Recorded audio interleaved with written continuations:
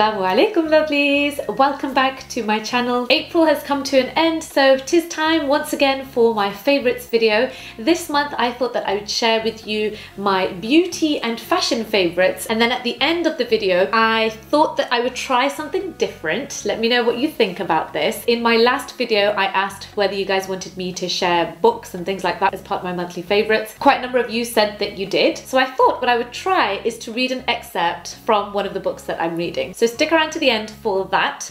For now, I'm going to begin with my beauty favorites. Numéro 1. This is the Kat Von D Shade and Light palette. I did a swap with a gorgeous YouTuber, lovely girl called Nabela, and she sent me a massive box full of goodies from the USA, some American makeup. One of the things that I received was this palette. Now this is the Kat Von D Shade and Light Highlight and Contour palette. These are incredibly popular at the moment, and by these I mean the whole contour highlight palette sets that are going around. They are everywhere and in loads of different forms. I have been making so much use out of, in particular, these two powders at the top there. This one is Lucid, the slightly peachy toned one, and the yellowy one is called Lyric. You know, this favourites review wouldn't be complete if I didn't compare this to the Anastasia palette because you guys know, I'm sure you're very well aware of how much I rave about that palette, how much I love it, but I've actually been reaching for this more often than my Anastasia palette. Now, I do like the darker contour colours too, but they don't form part of this shout out for this monthly favourites video. It's more so the lighter ones. I actually also like this neutral one, which is called Levitation. Lucid, which is a peachier toned powder, makes for a brilliant corrector Yes, I have found powders in the past that worked well to correct under the eyes, but they've never been quite as creamy and smooth as this one here. And this powder is also so incredibly pigmented. I've actually found this entire palette more pigmented than my Anastasia palette. I know it's going to become a bit of a comparison here, but you know, I have told you guys how much I love that palette in the past, so I think it is worth mentioning how this one differs to that. So these are creamier, they're a lot more pigmented. You only need a very tiny amount. Literally, I just touch the top of the palette powder with a small fluffy brush and then just run that under my eyes. If I'm wearing a lighter coverage concealer, this powder, because it has peachy undertones, will sort of make up for any of the coverage that that concealer is lacking in the way of neutralizing. So if there's any excess darkness under the eyes after having concealed, then this powder here just sort of finishes the job in a really lovely, smooth, subtle way. I then turn to Lyric and use that to highlight under the eyes and also the tops of the cheekbones. It's what I've used today, by the way, as well in today's makeup look. I've reached for this more than my banana powder from the Anastasia palette because Lucid is lighter than the Anastasia banana and also it's more pigmented. I think that is enough of a rave about this palette. You get it, it's one of my favorites for this month. Moving on, this is the Charlotte Tilbury The Retoucher Concealer.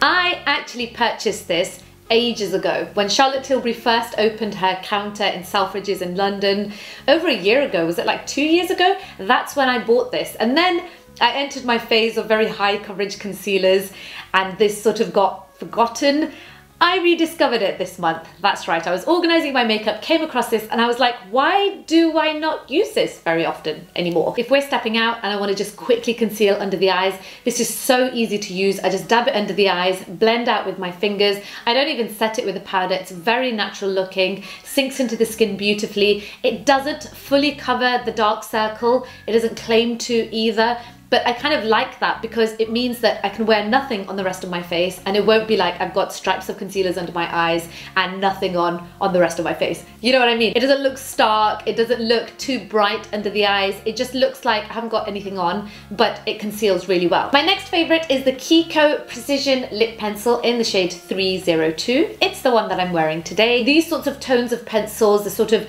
warmer brown, slightly orange toned, deep, whether they be burgundies, browns, browns, reds or peachy tones. They are so flattering if you have an olive skin tone. They really are. And they are so easy to style. Any kind of warm toned look will suit this kind of lip pencil. Absolutely love it. It's so smooth, so soft, a lot softer and smoother than a lot of the uh, high-end lip pencils. I think you guys know what I mean. Try it. If you're a Kiko lover, then you will know what I mean. Specifically, it's a precision lip pencil because I know that they do another one. I believe it's the Smart Lip Pencil. Precision are softer and this shade is Gorgeous. Okay, moving on, I'm going to do my fashion favorite. Now, in my last haul video that I did for you guys, thank you so much by the way for those of you who showed support on that. I will definitely be doing more. I think in that video I mentioned to you guys that I'd made another order at Boohoo because I was so impressed with their clothing. Well, that order did come and I was very happy with it. One of the things that I got from it has made it into my monthly favorites video. They are a pair of black jeans in the shape of chinos. They are, I believe, called mum trousers. I'll link them anyway in the description box under this video as I will do for as much of the stuff or as much as I can manage for the things that I'm showing you today. I would say they're a very relaxed fit type of chinos or a very, how do you call it, very flattering type of style, especially if you're somebody who, you know, likes to go for slightly looser jeans or if you're a mum and you know, your body changes after kids. Yay for Boohoo and the fact that they have made a lot, actually, of very flattering chino style trousers. This happens to be one of them. Actually, the top that I'm wearing, I just realized, coincidentally, was also from that day. My final fashion favorite for this video is actually one of my hand daisy chains. I have been itching to share with you guys my new designs. I've been wearing them actually rather quite shamelessly throughout this entire month. Uh, they haven't been released. Actually, they might be released now on the website by the time this video goes up. But this is my favorite hand daisy chain from the entire range. I love this because I am so in love with the color of the pendant. It's a mauvey brown color. When I first had it dyed, because of course I designed them all, they're all custom made, I fell in love with the pendant immediately. The chain itself originally gold, but then I wanted to change it to a more rusty color and then put pearls around it. It gives it kind of an antique look that I absolutely adore. Now it is time for me to move on to my book. So this is called Rumi's Tales from the Silk Road. It's by an author called Kamla K. Kapoor. Kamla actually belongs to the Sikh faith and of course Rumi's writings attract people of all kinds of backgrounds so it's not surprising that she was deeply moved by his tales, by his poetry, by his incredible insight to then go and write a book which is so easy to read. I read this out to my kids as well, or some of the stories, and it's so easy to digest. It's really not taxing at all for even young people or young kids to understand. And for me, it's just a joy because she writes in a very simplistic way, yet still manages to maintain the depth and the philosophical nature of Rumi's writings. It's not easy to do. Sometimes you think that, you know, the long and the complex things are the most difficult to do, but oftentimes simplifying something yet still remaining true to its original content or the core of the message can be very challenging. Anywho, so you should get this book. I received this book by a gorgeous, beautiful viewer called Sylvie. She gave this to me at one of the meetups that we had in Singapore last year. Are you ready? Make yourself comfy. This is literally just going to be me reading out a story. This is called The Gift. Mark hadn't seen Joseph, a childhood friend from Canaan, for many, many years. They had played together, grazed sheep together, and lain under the stars and shared their dreams together. Mark had loved Joseph deeply, though his mind often got in the way of his devotion. Mark had questioned Joseph's faith in a divine plan for the universe and for humans, and doubted his friend's simple and grand convictions. See this coat of many colours? Joseph had once said to him as they lay in the shade of a tree. It is thus with our experiences, Mark. The light and dark colours blend into and emerge out of each other seamlessly. You cannot remove one pattern or colour without destroying the whole. Mark had sought out Joseph whenever he could, for in his company and presence the universe, which he often thought to be a malignant force, became beneficent and kind, and the face of his friend made his soul dance. Then one day Joseph suddenly disappeared, and it was rumoured that a wild animal had killed him as he and his brothers had gone to feed their father's flock of sheep. Joseph's brothers had brought back his blood-stained coat of many colours as evidence of his death. Stunned and sorrowful, Mark had mourned his friend for a long time. His mourning, however, was coloured with many doubts. He'd been familiar with Joseph's brothers' jealousy of their younger sibling. Mark felt certain that his brothers had done Joseph harm. Embittered, Mark roamed the world aimlessly, travelling from one place to another, but wherever he went, he could not escape from the prison of his beliefs. He deeply doubted that a universe that destroyed a person as noble as Joseph at such a young age could have any pattern or meaning. Then one day, while he was in Turkey, a traveller from Egypt told Mark that Joseph, son of Jacob from Canaan, was alive, and not only alive, but was governor of all of Egypt. Mark's heart had somersaulted madly at the news, and as he heard the tale from the traveller, flares of hope, like the light of stars in the black cloth of night, flickered and danced in his soul. Was it possible? Dare he hope to see his friend again? And, oh joy, could Joseph's vision of the universe still be the right one after all?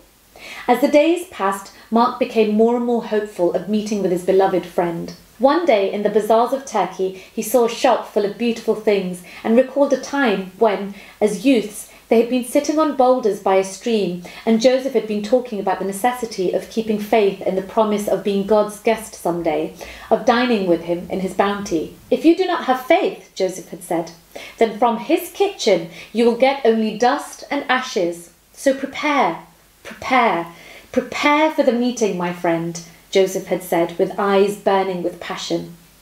And how should one prepare? Mark had asked, perplexed at Joseph's meaning. Sleep and eat little. Stir a little, like the embryo, so you may be given the senses that behold the light of the unseen world. And when you emerge from this womb like earth into the vast expanse into which the saints have entered, and go to the court of the friend, go not empty handed, but take the gift of this stirring. Mark had not understood Joseph, who often spoke, it seemed to him, in obscure riddles. But the memory reminded Mark to buy a gift for his friend, who he was now hopeful of meeting. He spent a long time searching for the right gift, knowing that whatever he bought for Joseph would be paltry for the governor of Egypt. After much thought and many deliberations, Mark bought a gift with his savings. Turning toward Egypt, his heart soared on the crests of hope and plunged into the troughs of despair. Would Joseph even remember him? But when he finally reached Joseph's door, it opened immediately, and there, instead of a servant, as Mark had expected, stood Joseph himself, his arms wide open. Mark walked into them and sobbed, while Joseph held him near his heart. Later, Mark fed from Joseph's table, laden with an abundance of fruit and other food. Afterwards, they lay upon cushions and reminisced about the old days. Joseph told Mark his story, how, in their jealousy of him, his brothers had stripped him of his coat and thrown him into a well, how they had later taken him out and sold him for twenty pieces of silver to the Ishmaelites, who sold him to Potiphar? Sorry, not quite sure how to pronounce that. He told how Potiphar had made him the head of his household and how later he was sent to prison because Potiphar's wife had falsely accused Joseph of trying to seduce her. He explained how his skill of interpreting dreams had released him and he had gone to Pharaoh's court and was made governor of all the lands, how a famine in Canaan had brought his brothers to Egypt for corn, how they had met, and how Joseph had forgiven them. Forgiven them? Mark, who had been seething with rage at Joseph's brothers, leapt up from the cushion and said, How could you forgive them? They threw you into a well. You could have died in it. How could you forgive those who threw you into the furnace of suffering? Like the moon, when she is waning, she knows she will be full again.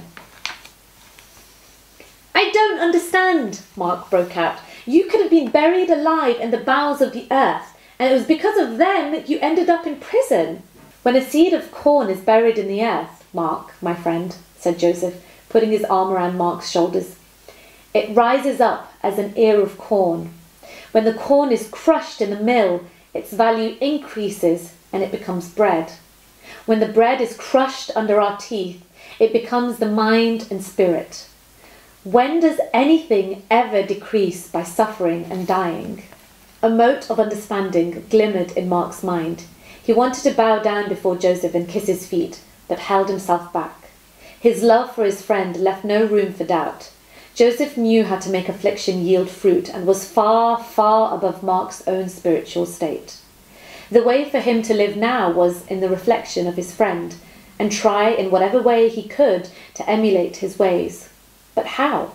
Did he have it in him, or was he doomed forever to flounder on the way? God, said Joseph, divining Mark's thoughts, causes all to happen. There was a long pause. Then Joseph said, Now, Mark, tell me, what gift have you brought for me? I couldn't think of anything worthy enough of you. How could I bring a grain of gold to a mine? How could I bring a drop of water to the sea? But come, come, show me what you brought. I couldn't bring anything that you don't already have, and let me see it, Joseph said, playfully reaching into Mark's bag while the latter shamefully held on to it. After a joyful tussle, Joseph gained control. A mirror! Joseph exclaimed. And what a beautiful mirror! I bought it because you are so beautiful and because you reflect the possibility for mankind and Mark embarrassedly tried to explain his choice of the gift. Come, my friend, come, tell me, why did you really buy this? Joseph teased. Because, said Mark, bursting into tears, when I see myself in a mirror, I see only defects. And I hope and pray that I become empty as a mirror so that whenever you look into it, I will reflect you. With this mirror, keep a little bit of me around you forever, Mark said, falling at Joseph's feet and kissing them. I will do better than that, Joseph said, picking him up and holding him. I will keep you in my heart forever, my Mark. What do you think? Leave me your thoughts below. I shan't prolong this video any longer. I'm going to leave it there on that beautiful note. I hope that you guys enjoyed watching this video. Let me know what you thought. You might not be up for listening to me reading in my favourites videos, or you might like it. I don't know. Give this video a thumbs up if you did like it. Subscribe to me down there. You know that's coming up. You need to make sure that you're subscribed, especially if you're watching by Facebook or Instagram or wherever you guys come from. Also, I shall be leaving for you another video over there Go and click on that if you'd like to watch some more Amena. I hope that you have a wonderful day and I look forward to catching you very soon in my next video. Take care, lovelies. Toodles.